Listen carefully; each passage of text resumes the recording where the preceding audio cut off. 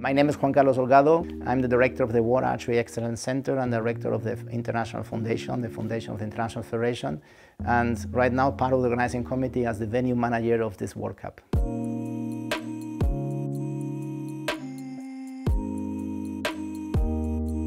Okay, we are the backup solution of the event that was supposed to happen in Shanghai, China. Uh, because the COVID regulation in China, there was mandatory to have all the teams two weeks in a hotel. The cost to have them there, to have them not shooting and practicing for two weeks was just too high. And as a result of that, we have only two World Cup in Olympic year, which is very important to have more competition. World Archery asked the center we were willing to help. Of course, we are here to do that, to help our members and World Archery.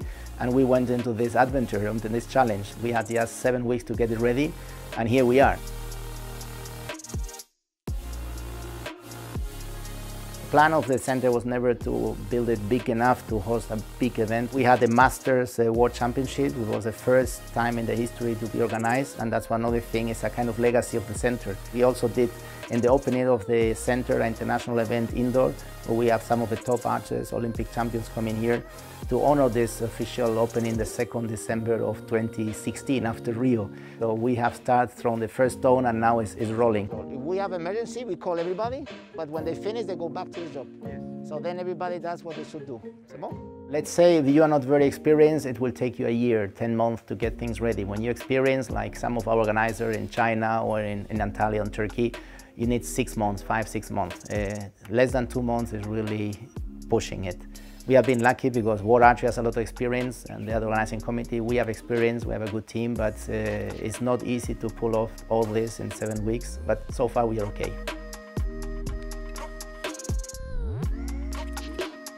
The World Cup is higher standard, which means that we have to provide better targets, better facilities. With the COVID, we need more spaces for, to, to follow the, the regulation. And of course, we have more media interest, but that's what it makes it difficult. Uh, just top archers, more numbers, and higher standard that we have to reach to, to be in the level as a World Cup circuit.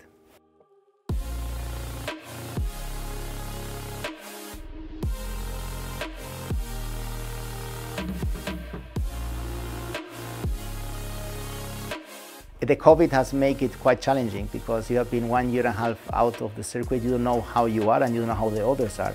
So it's very important to create more competition before the Olympic to, to get uh, warm up, to get ready for it.